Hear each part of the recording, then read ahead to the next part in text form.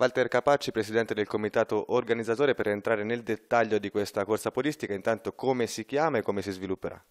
Allora, eh, niente, la gara è, non ha un nome ben preciso, Trofeo Donatori di Sangue Fratres eh, e spero che porti tanti atleti a correre qui ad Anghiari. Tu sei un ex podista, un ex atleta, anche se credo che ancora ti diletti con la corsa. Come valuti il percorso?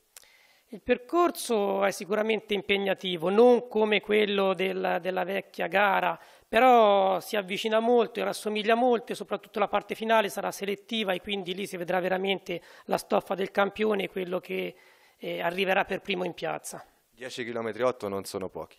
Non sono pochi se poi si tiene conto che proprio la parte finale è quella più dura, quindi la più difficile e dove appunto farà selezione.